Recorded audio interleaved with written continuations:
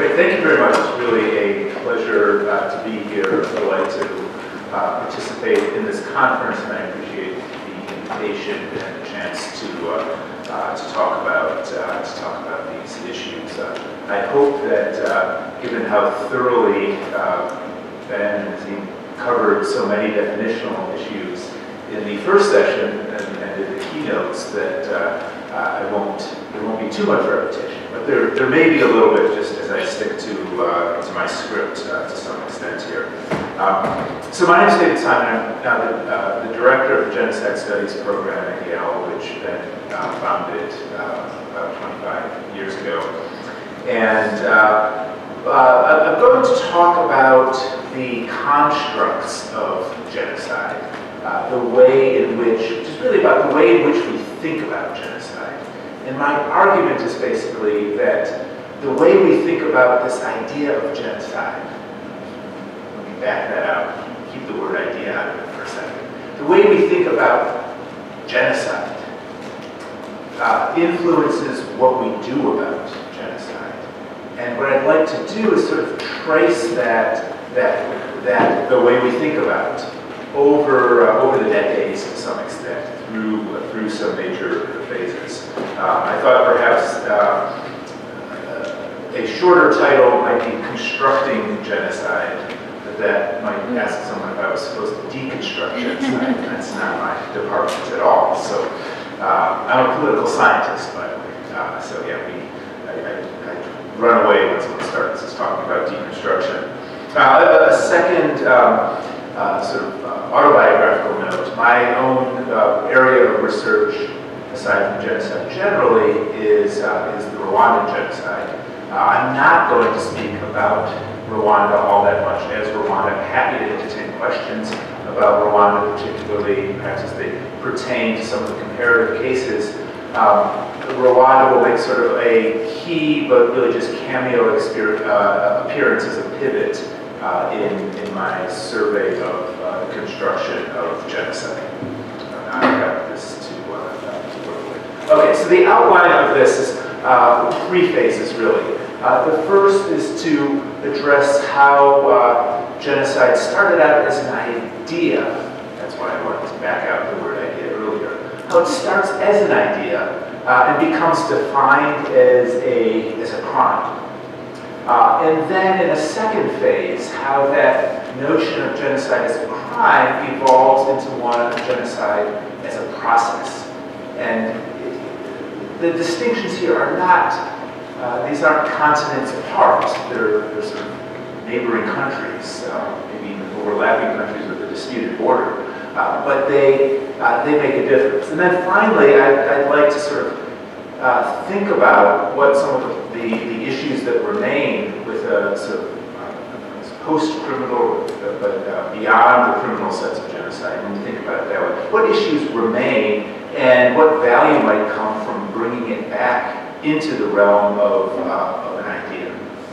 Okay, so let me uh, move on uh, briefly. The, uh, the history of an idea, it, it starts with, uh, with Raphael Lemkin, who's been mentioned a couple times, uh, a couple times here. Um, his idea adopted. This actually comes from a, a small archive maintained at Yale part because uh, Lemkin uh, taught and served as a researcher at Yale uh, shortly after the passage of the Genocide Convention, where he, he tried to uh, uh, write the first comparative, first book on comparative genocide. It was never completed, I believe, and published later in, in, in fragments. for Lemkin, um, Lemkin was motivated in part by hearing Churchill describe um, this is from Lemkin's diaries, he heard Churchill describe the, uh, the treatment of the Jews as uh, a crime without a name. So part of what Lemkin wanted to do was put a name on the crime, literally come up with the word. The word genocide is his own creation. Uh, extermination had been used, uh, annihilation had been used. But Lemkin thought that what was going on to uh, the Jews of Europe and what had happened to the Armenians uh, in, uh, uh, Anatolia in, in 1915, he thought that it was something more than just mass murder. Uh, and this speaks to our, our keynote earlier to some extent. But what, what Lemkin was most, I, I, think, found most distressing or, or most problematic about about the, the episodes was not just the loss of life. Granted, that was problematic to say the least, but that there was there was a, a measure of social destruction. This is one of his phrases that that was occurring as well. The fact that what he viewed as what he saw as a coordinated plan of different actions aiming at the destruction of the essential foundation of life of, of a national group, and that that involved the interference in not just the sort of physical existence of a group, but its political, social, cultural, economic, biological, religious, and ethical, or its moral existence, as well as the uh, process that involves sort of evidence of the destruction of all of those. So it's not just the people. It's not just the killing and the loss of life. It's the killing, it's the destruction of every thing that that group, as a group, was creating, how they existed. It was, wasn't just the destruction of the, the extermination of the Jews of Europe uh, and 40-some members of his family, but it was the, the elimination of Jewish culture and Jewish life in Europe that, um, that was part of this crime that deserved, uh, uh, deserved.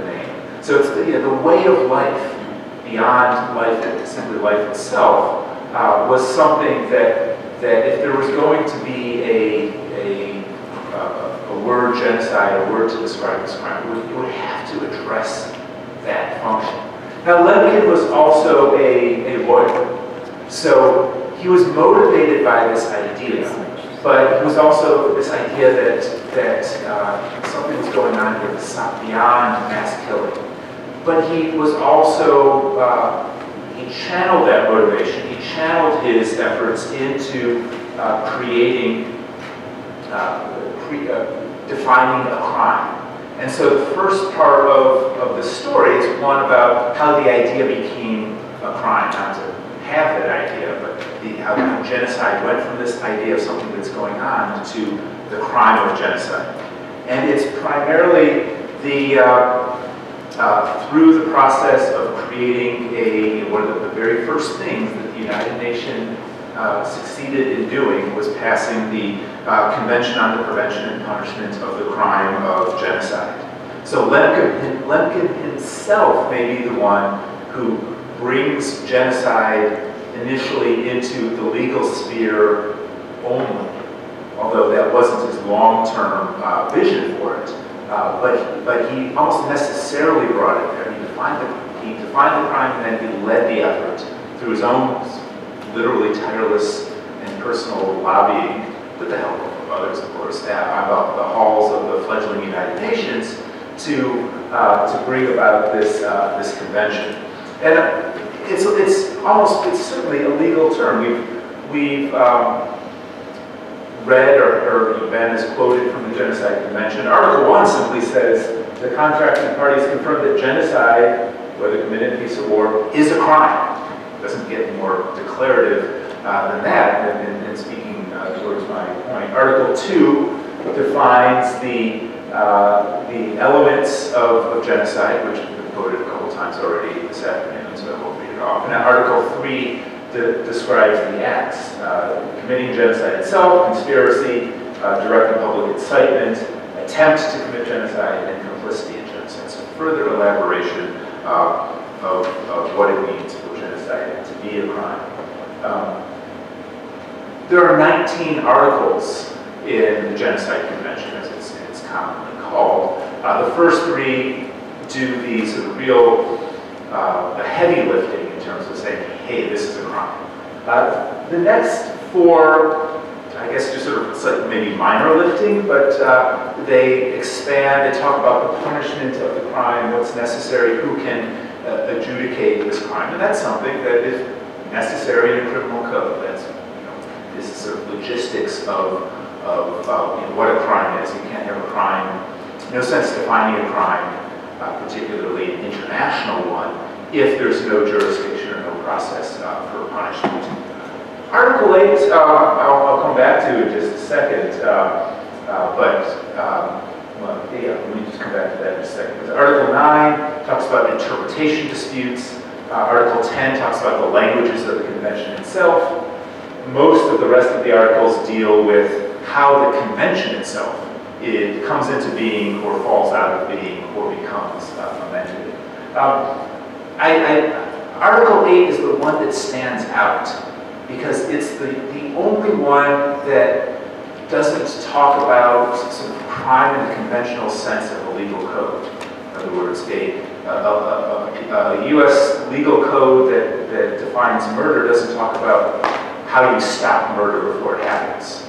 Um, the Genocide Convention is, is a little bit different in that it has Article 8, which reads, any contracting party may call upon the competent organs of the United Nations to take such action under the Charter of the United Nations as they consider appropriate for the prevention and suppression of acts uh, of genocide.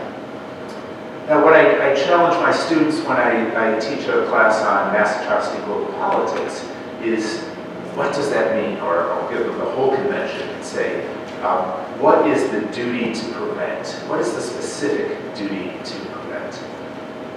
And it's not very clear there. We, a contracting party may call upon it. Makes it sound almost optional.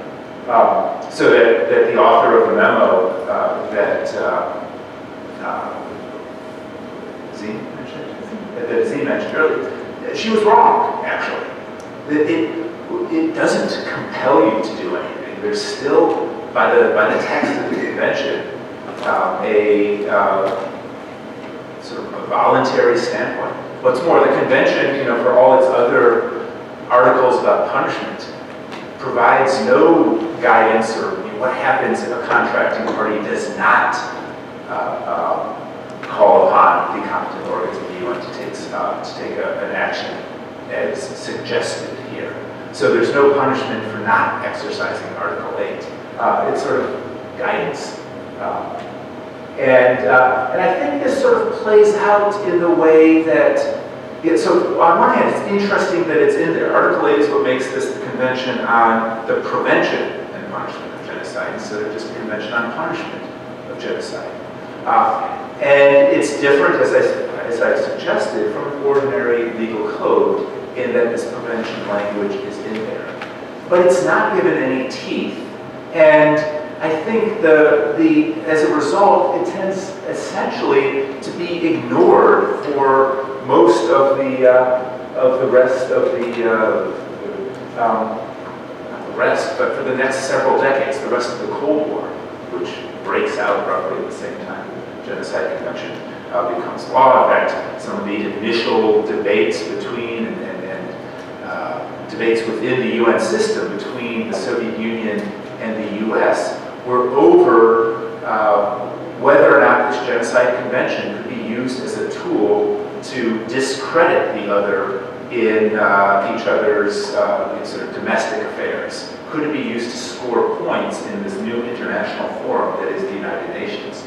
There was a group led uh, by the, uh, believe by the NAACP that produced a document in the U.S. called We Charge Genocide, arguing that the systematic lynching of black Americans in the American South, which is continuing uh, into the 40s, uh, that that constituted, that met the definition of genocide under Article 2.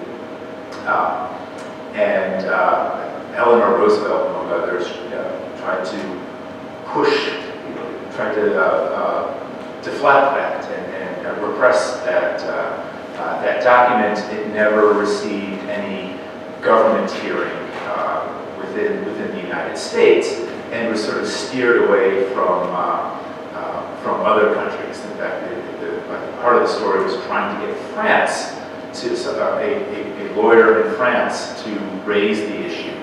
Uh, and the U.S. denied visas to uh, activists who were going to bring this, uh, this case and, and had scheduled an event in France to try to, to uh, try to advance that cause. Meanwhile, the Soviet Union, uh, there was persecution of all sorts of national minorities uh, and, and uh, that could have been considered, it would certainly, uh, at least through an interpretation of a, of a document that really hadn't been interpreted, in, interpreted by lawyers around the world, much of what the Soviet Union, Soviet Union was doing in terms of uh, deportations and exiles and gulags uh, could meet some elements of the, of the Genocide Convention. But by the time, uh, uh, by the mid-50s, the decision was sort of, let's not use this for those domestic matters. Let's think of genocide, uh, the Genocide Convention uh, as a, uh, a product of, of a post-World War II concern that reflects the, the concern over the Holocaust and an effort to make sure that the Holocaust uh, doesn't happen again. Uh, it's the, the, genocide refers to what the Germans were doing um, during World War II when we, the Americans, we, the Soviets, we other Europeans uh, were trying to stop them. And that was a reasonable sort of uh, detente. Uh, and it meant that on these domestic matters, Article 8 was really not invoked through, uh, in any serious way, in any consequential way, uh, until the end of uh, the Cold War. Uh, not just in, um, uh, not just internally, but externally as well. So meanwhile, meanwhile, what that led, I think, in terms of thinking about genocide, was was really to partially a debate, a debate inspired to some extent by those the, the internal politics, political debates of the Soviet Union and the USA in the 1950s to, to extend the debate about what should or should not be covered by the Genocide Convention. Should it include political groups? Would a better version uh, include uh, other classes of, of, protection, economic groups? Uh, and in a way, what that means is that you, genocide studies such as it was was essentially a kind of legal exercise that happened over faculty lunches, uh, entertaining the idea of what, um, what might be tweaked, what might be the implications of the convention as it is written now, and, and you know, what would be a better way if we could do it all over again.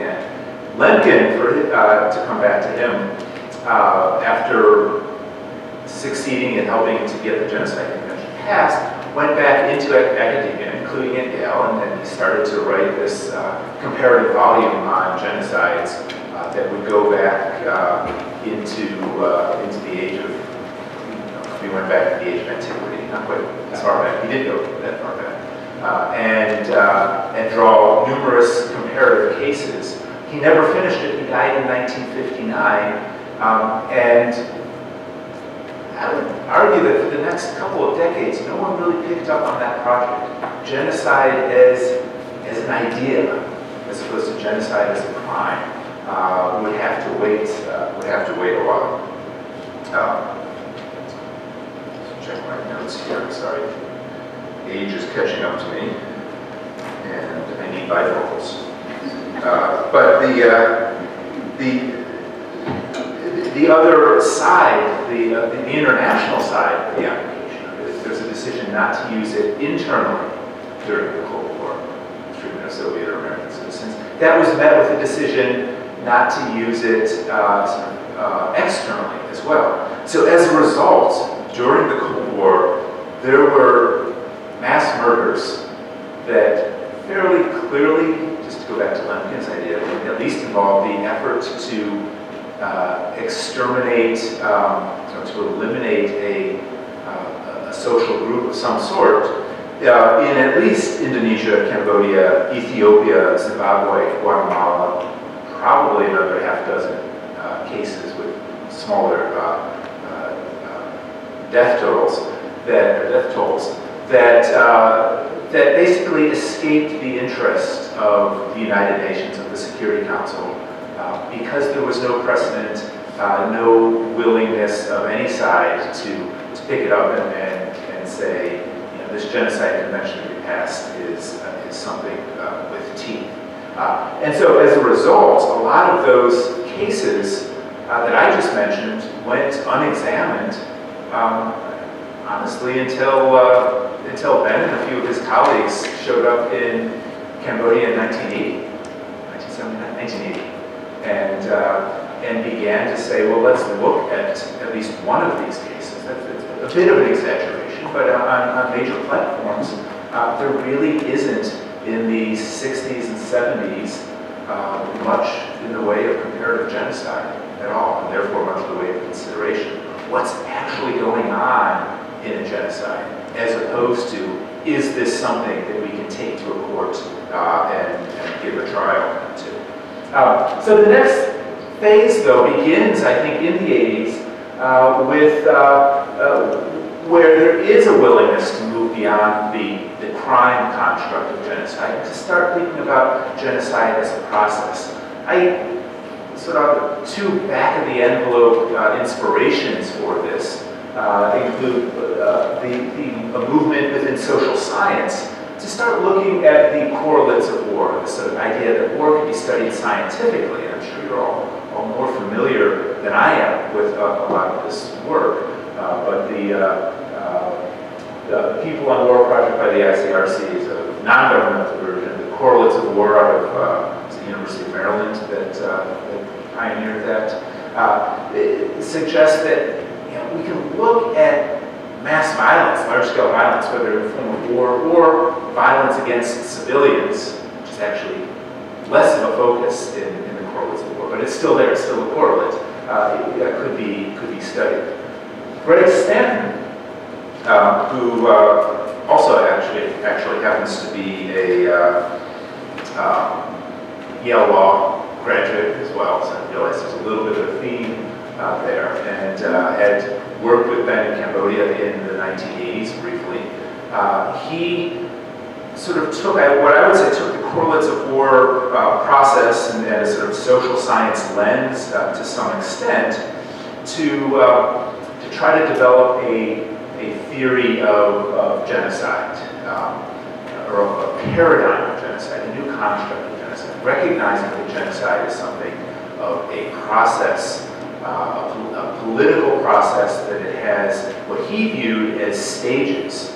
Uh, so it's not just the execution of something identifiable in art that, that, matches with Article 2 or 3 of the Convention, but rather uh, there are uh, anterior plans, there are precursors, uh, there are uh, stages that we can recognize as uh, likely to lead to mass atrocities. And I think this broadly reflects social science, the movement of social sciences into the study of conflict generally in, in new ways in the, in the 80s uh, and 90s, and history, I might add, as well. Maybe history was there longer as a social scientist. I won't necessarily speak for them.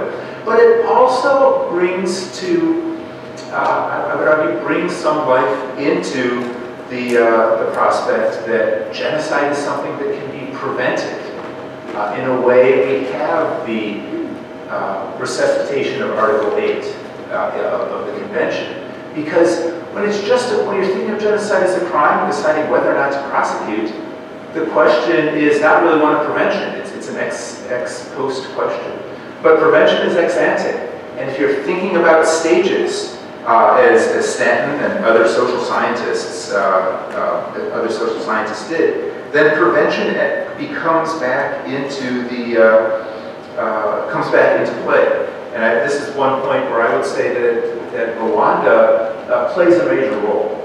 Because Rwanda, what happened in Rwanda in 1994 was inarguably a, a crime, a violation of the uh, Genocide Convention of, of 1948. There's just simply no way you could be at all familiar with the facts and debate that.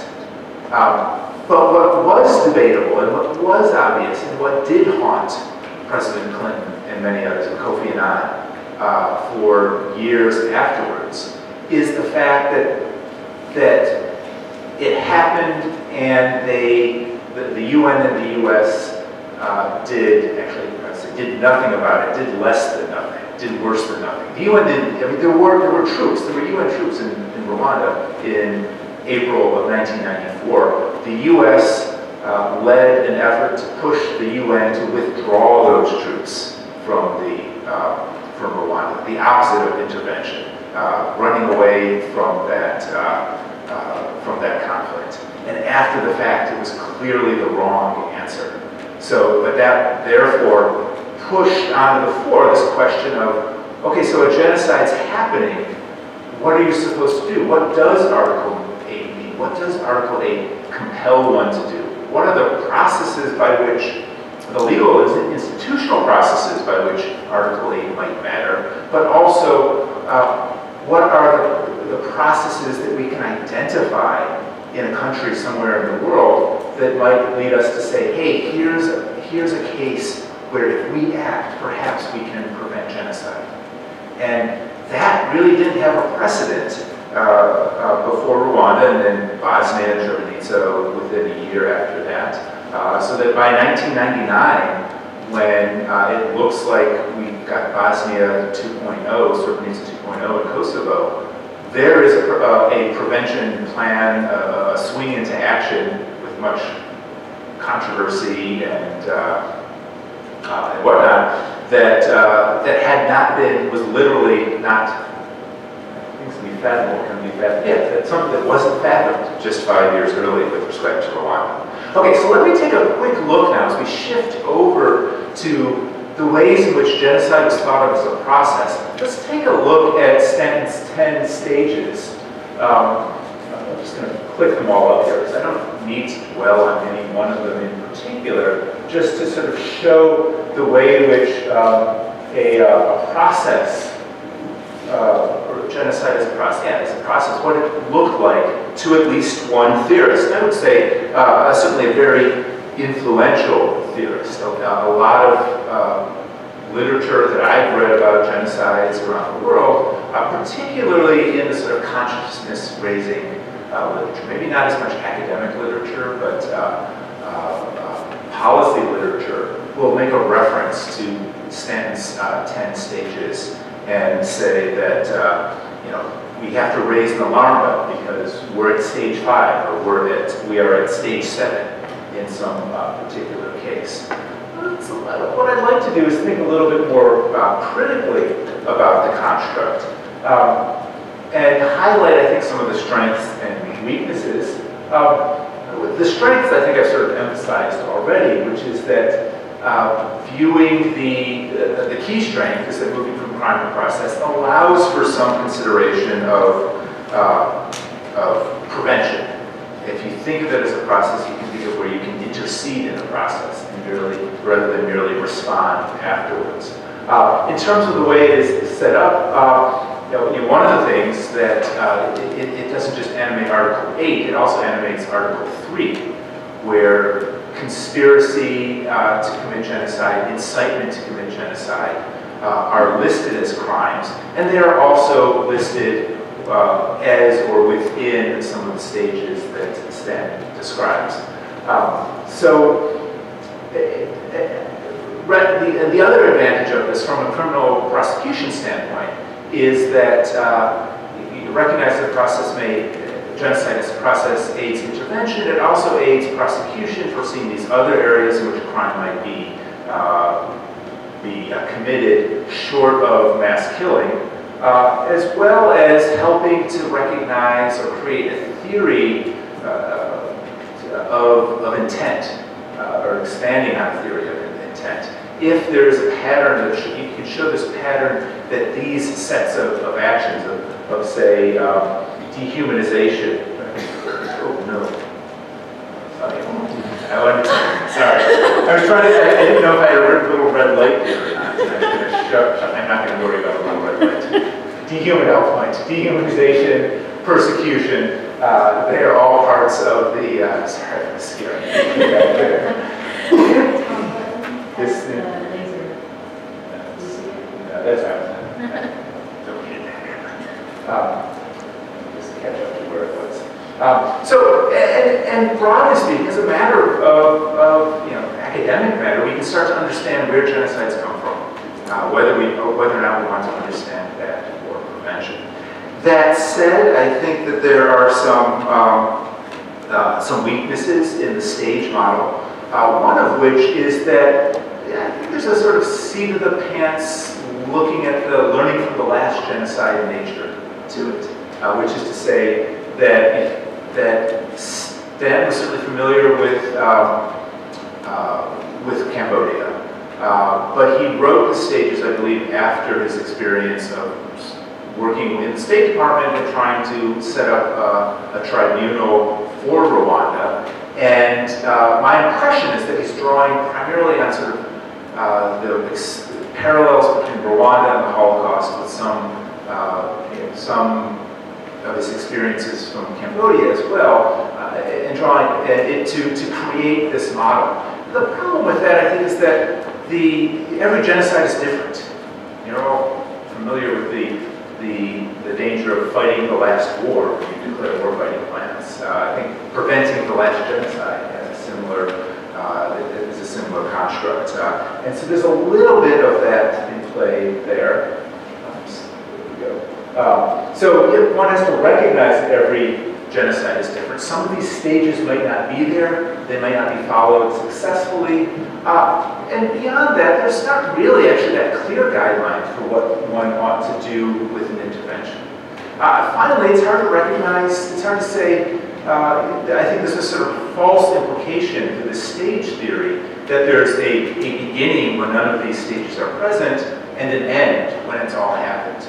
Although the, the addition of stage 10 denial sort of uh, suggests that it does uh, it does carry on. But that that's uh, I'm as I'm going to say, I'll, I'll, try to speed up a little bit here, uh, give me some time. But there's also a uh, it, it's an issue for risk-based analysis as well, which is the, the another version I think of the process the process view. I think so. The risk-based is is set up. I, primarily refer to the uh, uh, to Barbara Harff's uh, theory that uh, Azim mentioned earlier, earlier, which was influential in creating the uh, framework of analysis for the for the UN, which is devised by the Office of the Special Advisor to the Secretary General for the Prevention of Genocide, also known as OSCDG, um, and it's been since been combined with the Office for the Responsibility to Protect.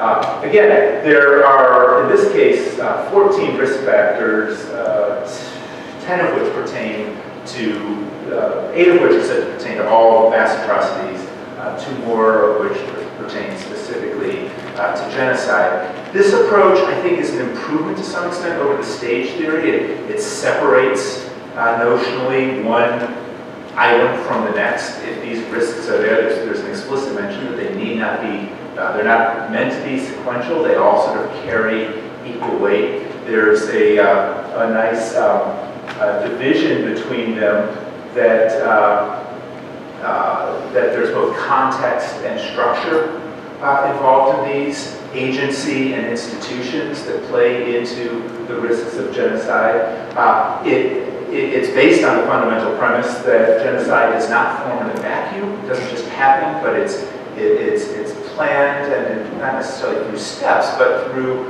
uh, through this combination of context and, and structure. What's more, the, the, the, factors themselves are fairly generic, but they are uh, they also uh, are connected to a series of, of indicators. I think uh, 97 in total, when they're all added up, that uh, it may be a little bit too much of this sort of UN approach to ordering the world. Uh, but on the other hand, it does give one a little bit of guidance of what one might be, uh, uh, what one might be looking for here. Uh, the uh, weaknesses, however, still still remain. Uh, sometime, I do want to emphasize this as well, that the risk factors beyond stages sort of emphasize that there's a possibility for resilience beyond just prevention from the outside, but responding to risks internally, uh, I think, is comes into, uh, into sharper focus as a possibility when the process is framed as, as, this, as risks that combine structure. As a matter of weaknesses, know, 97 indi indicators, that should be staged, but uh, there is still something of an implication of sequence, even if the effort in the, the writing around it is to say they're not necessarily uh, sequential. With 97 indicators, though, I think there is a, a risk of, of false positives and the danger of crying wolf to say, well, you know, there's a high risk in cases X, Y, and Z and no genocide, so in case Q, um, if there's a risk, we shouldn't be all that, uh, all that alarmed. Um, there's a little less focus on agency when we add the, the context, and something may be lost uh, there, particularly when it comes around to prosecution. Um, if we all say it's context, if everything is institutions, uh, then the agents may, might not uh, matter as much.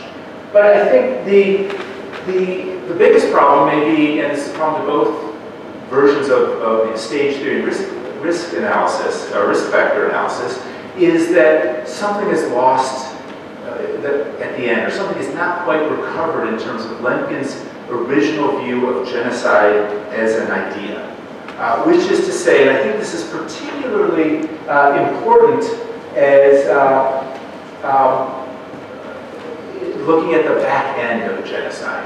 Because genocide, one of the things that I think that we as, as international activists, policymakers, and scholars are having a hard time with in terms of understanding and modeling genocide is in what happens when genocide is over. Or, strictly speaking, how genocide never really ends.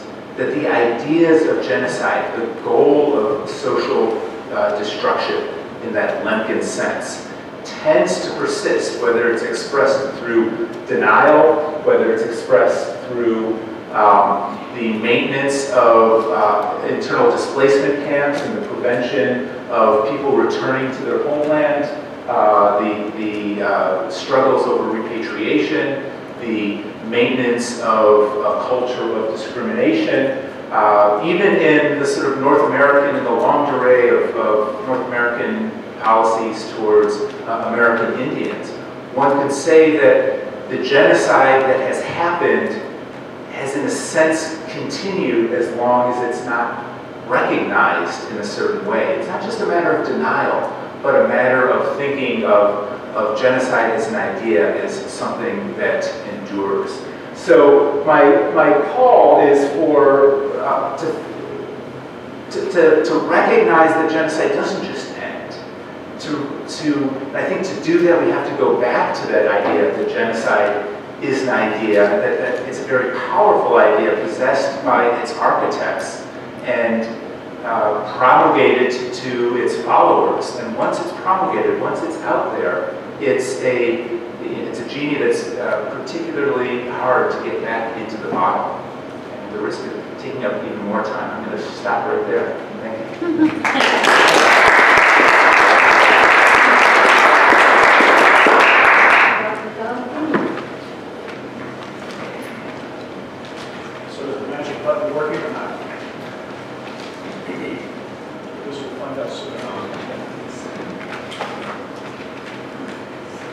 Right, we've heard a couple other speakers talk about how far back can you take this.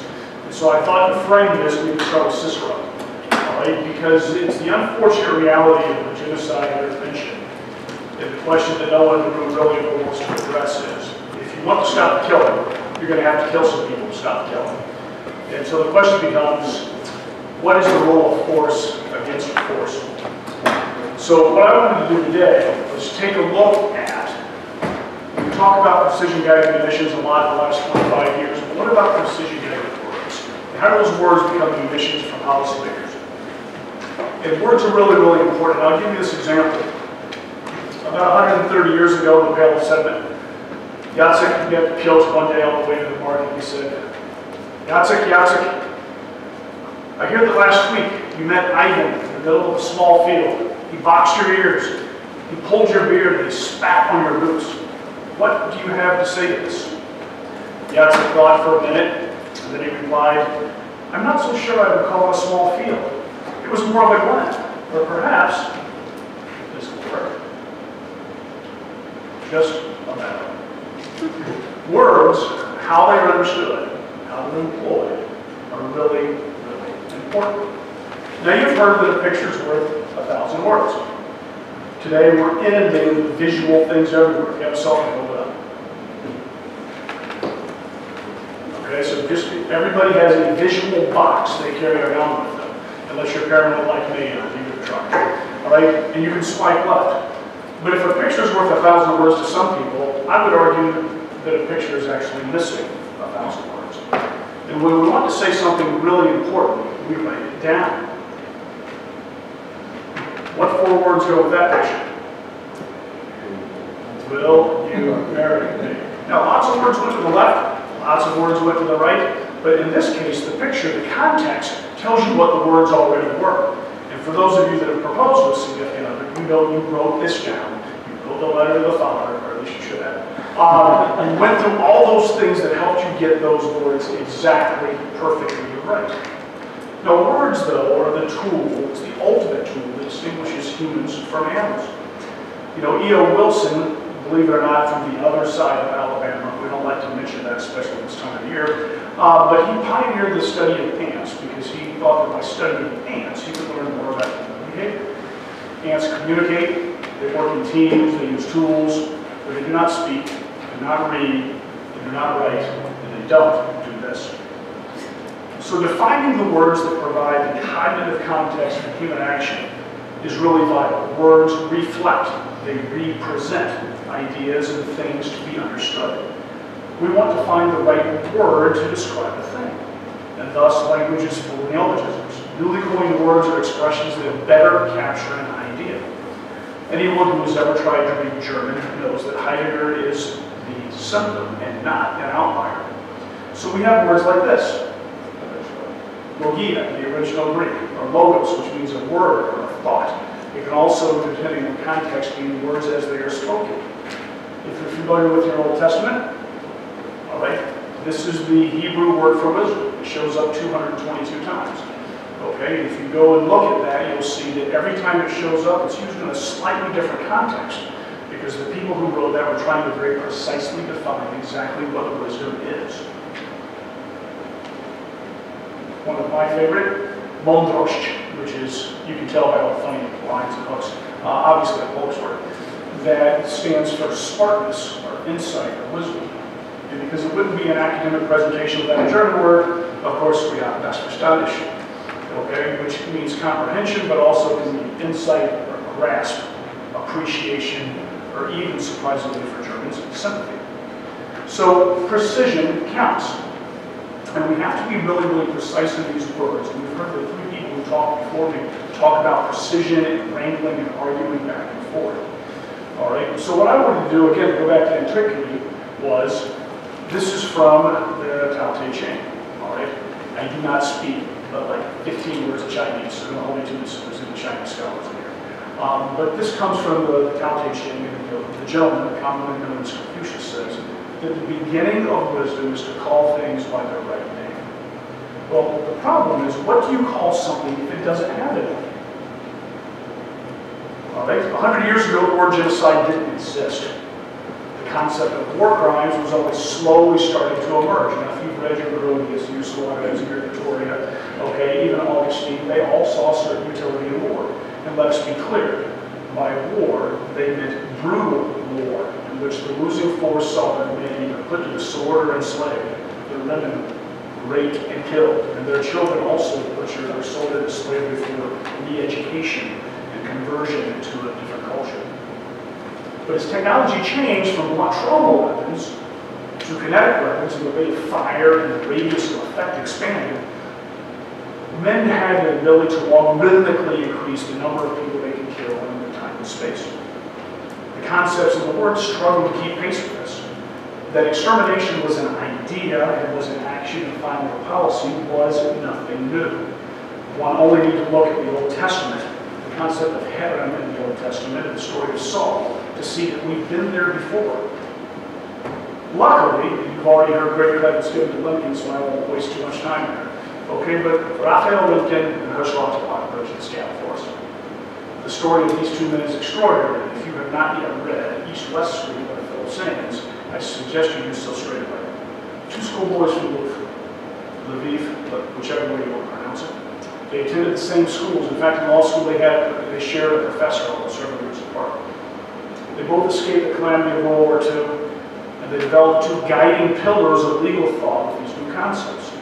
So Lemkin, the gentleman on your left, invented the word genocide, which focused on the killing of groups, while Bush-Montauk came up with the concept of crimes against humanity, which focused on the killing of individuals with less emphasis, although not while ignoring, the group affiliation.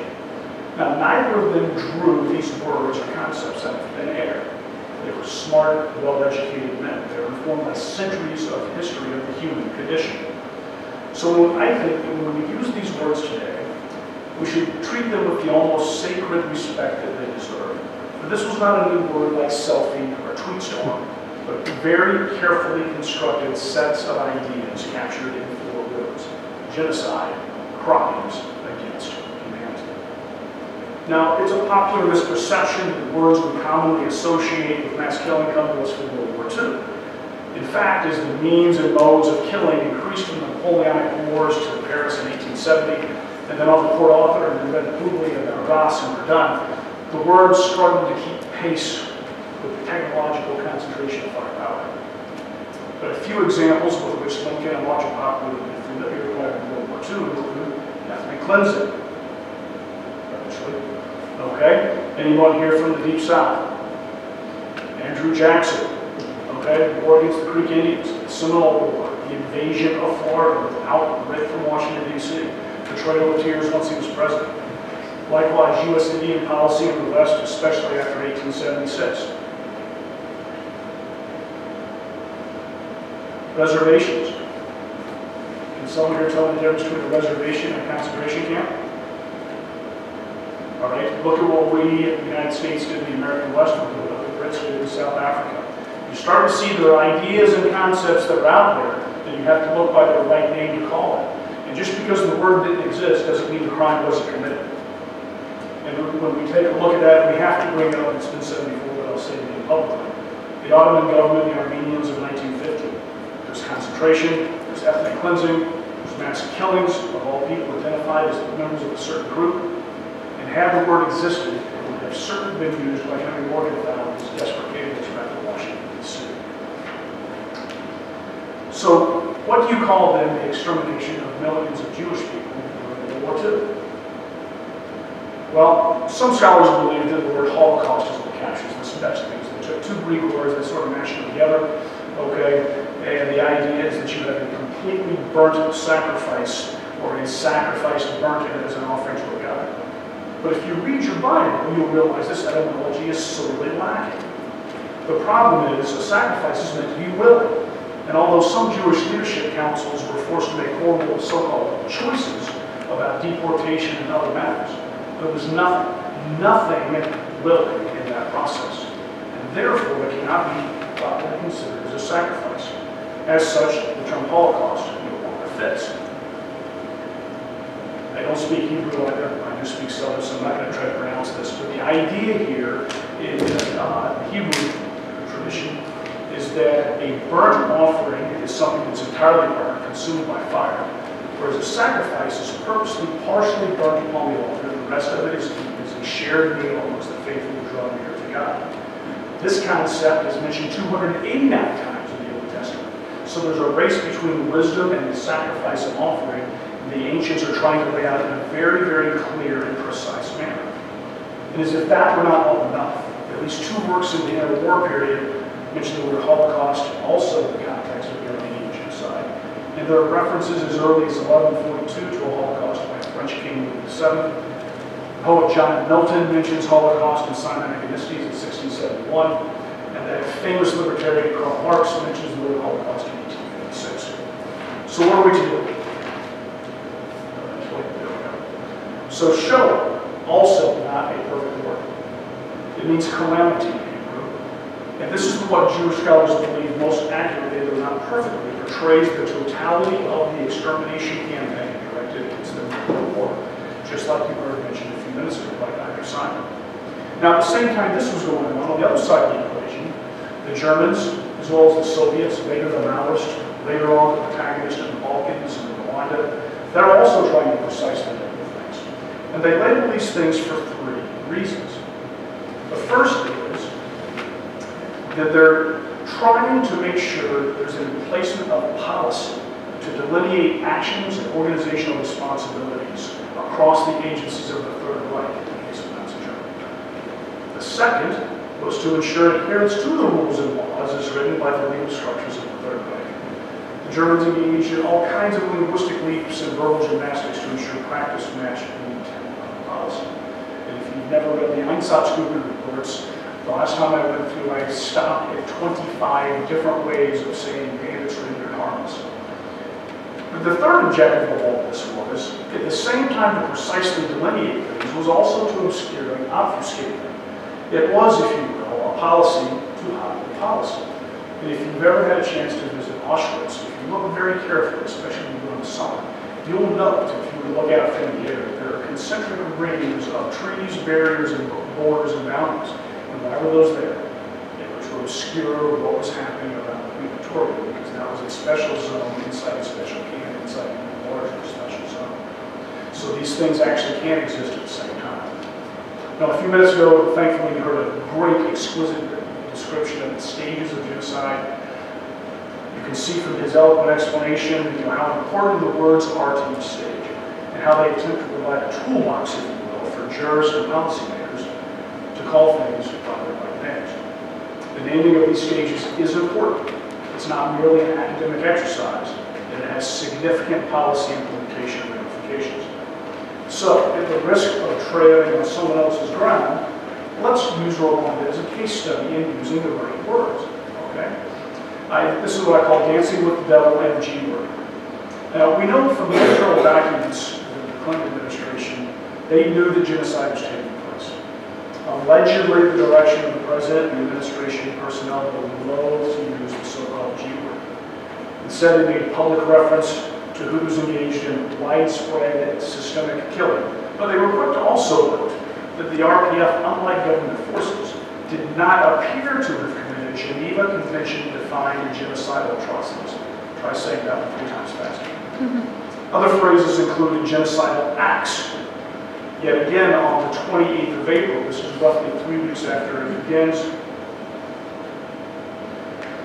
all right, the poor spokesperson is up there and she's asked whether or not what is happening in Rwanda is a genocide. She responds, the use of the term genocide has a very precise legal meaning, although it's not strictly a legal determination. There are other factors there as well. We know, though, that by the time she made those comments, there was already a classified internal document State Department saying this is in fact a genocide.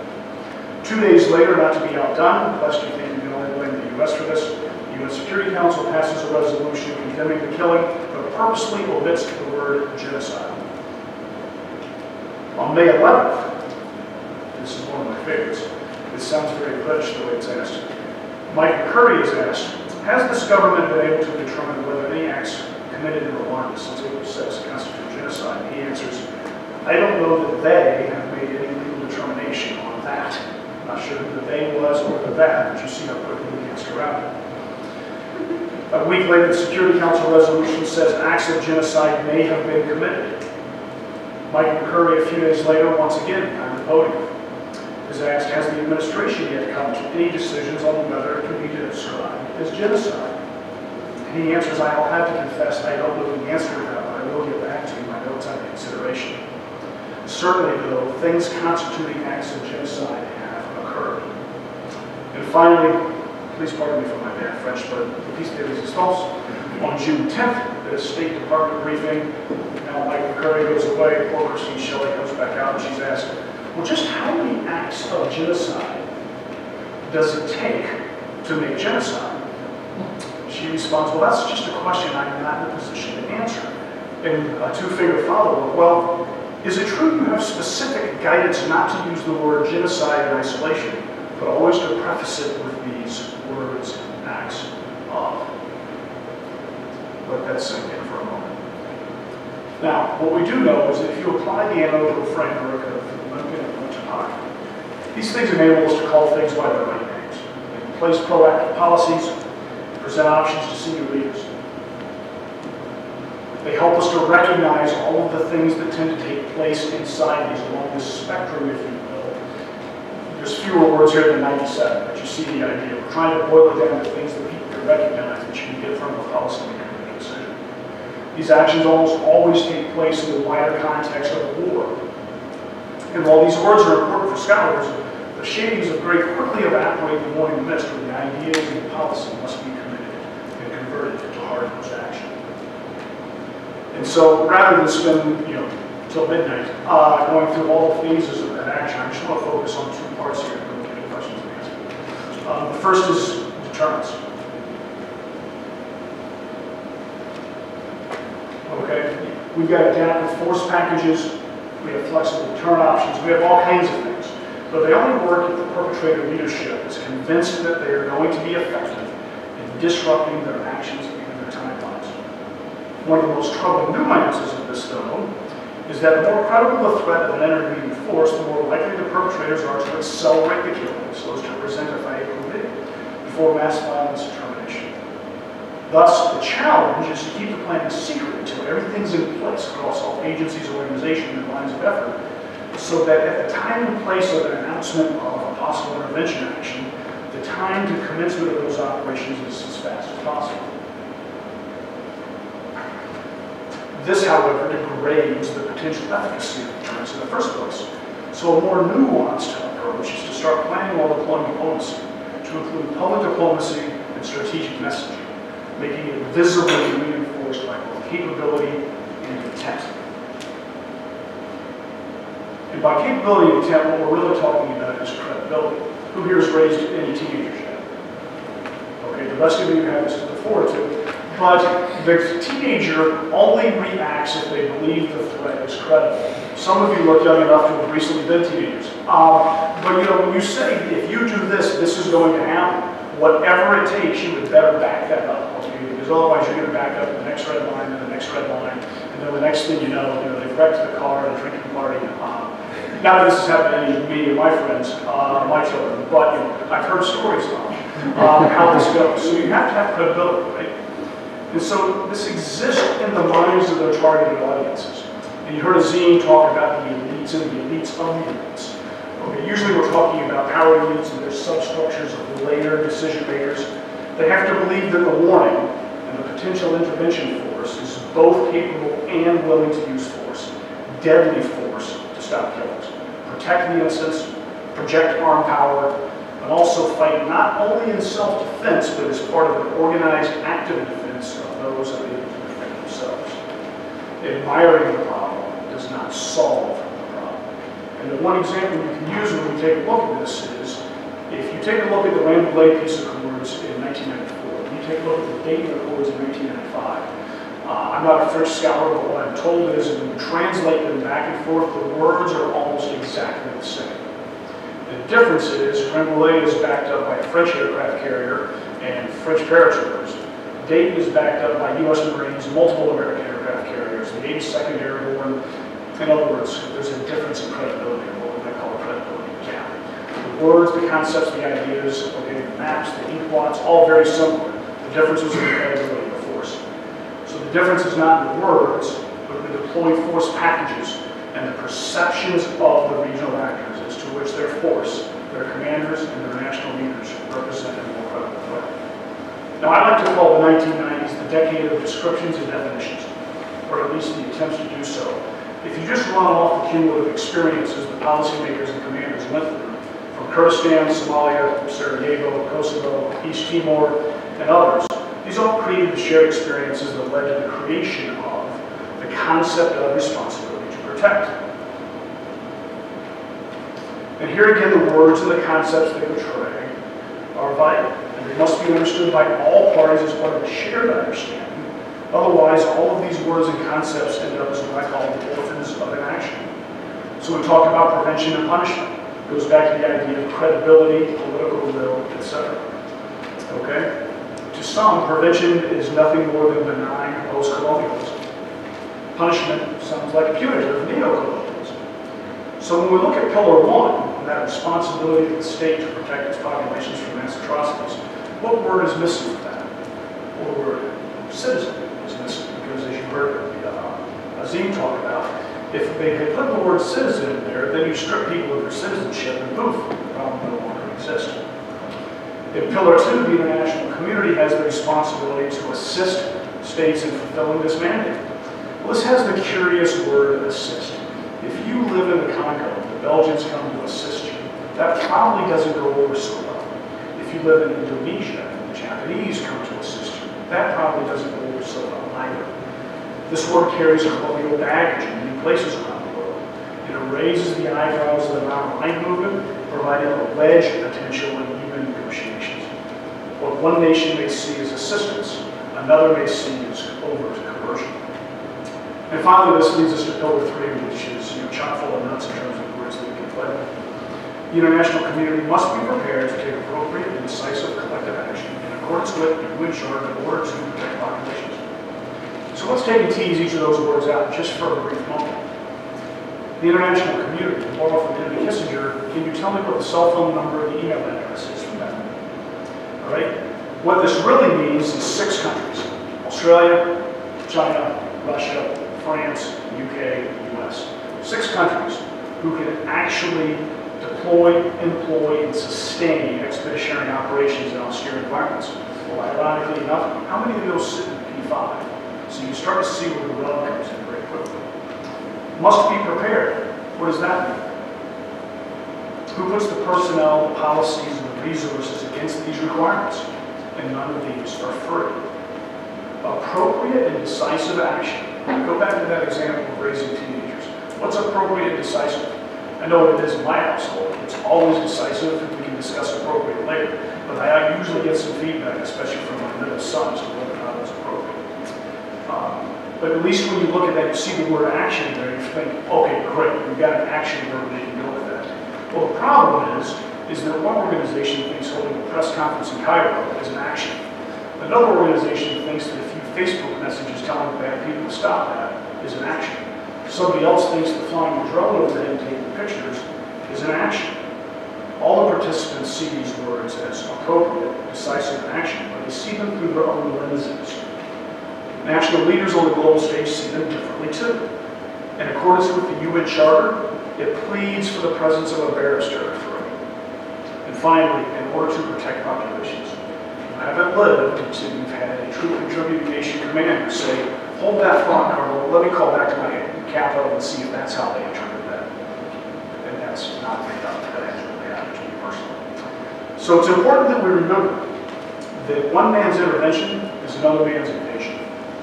At a certain point, though, the deliberations, while not concluded, have certainly culminated. It's time to either fish or cut bait, deploy force or stand back and observe.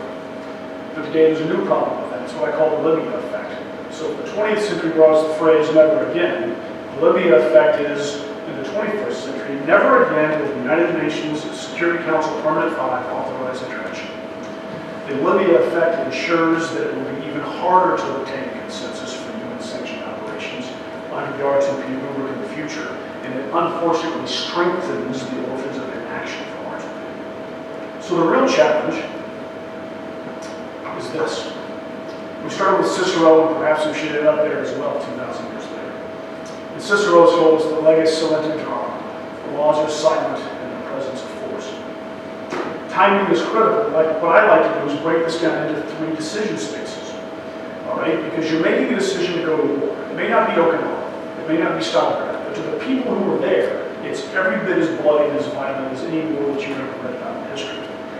And Tom Nichols isn't here today, but I'd like to publicly thank him for giving me some ideas to think about as I put this last bit together. So if we look at this, you know, I've, I've lined the pillars up here. You know, pillar one you can think of as sort of being preventative, okay? Where you're trying to think, hey, this might happen at some point in the future. But even though we have increasingly complex and capable models, analytics, and tools, remember those 97 contributing factors? It's really hard to know exactly how those Legos stack up. And the information domain, it's really hard to justify and prove that this is not so much an invasion as it is a protective intervention under power pillars one and two. If we move to the middle, okay, maybe we're starting to get a little bit hot, like Illinois, right? Okay, so now we're at preemptive. Here we think we know more what is about to happen. We're closer to the commencement or perhaps the acceleration of a genocide or mass killing. Preemptive in the era of large-scale wars with massive mobilizations, though, was easier. In the days of mass communications, it's harder than ever, although not impossible, you know, to look back in hindsight and see this was happening. We know that we talked about the documents that the uh, Clinton administration had telling them that Rwanda is a tinderbox that can easily ignite. In 1998, at least one person in the Pentagon predicted to the chairman of the Joint Chiefs that the Serbs would attack Kosovo the following spring, and the intervention force positioned itself, they would accelerate their killing. Um, Another person in 2003, Alan Sitcom, predicted that at some point the new Assad would commence a ruthless campaign that at least equaled and kill large numbers of people just to prove that he was at least as ruthless as his father. And yet, even with that, with preventative, it is still hard to convince leaders, commanders, and public opinion, the Holy Trinity, of the requirement to do this in the R2P, Pillar 2, or even Pillar 3 architecture. Which leads us to the active on the far right side here. This is the easiest to respond to, but at the highest risk of failure measured in state-joint slaughter. Once a mass killing operation begins, especially in today's hypersensitive, hyperlinked information environment, it's pretty hard to hide that atrocities campaign. The best scenario might be East Timor, Sierra Leone's outposter by the Brits, or Operation Provide Comfort led by the U.S. in northern Iraq in 1991, where national leaders saw what was happening and quickly intervened with enough force to stop any further killing. Conversely, the leaders who were considering initiating mass atrocity operations to intervene in them will realize that time is not on their side. Those who are committing mass atrocities, mass killings, and genocide will also realize that time is not on their side. So the closer you get to initiating intervention, the more likely they are to accelerate faster. Thus, while preventive and preemptive may be in benign, less contested environments, in reactive, forces are deploying into a non-permissive, hostile operating environment into the middle of a murderous maelstrom. Well, I figure that I've gone long enough to take too much of your time. Okay, but I, I thought I would try to bring you at least as many answers as questions. If I failed at that, I'm glad you got the questions, I'm sorry I didn't bring more answers. It's easy to deliberate definitions here. It's harder to do it in the human and other halls of power, and it's even harder to do it in the in the mud, the dust, and the flies of far-off battlefields. But if we go back to E.O. Wilson, if we want to distinguish ourselves from the ants, then we must carefully define these actions then employ policies that will deploy effective forces. The words that make sense in a diplomatic press conference or a PowerPoint briefing slide may be of very little use to a 28-year-old company commander who has to employ force to achieve those objectives. Absent precision in words, it is impossible to expect precision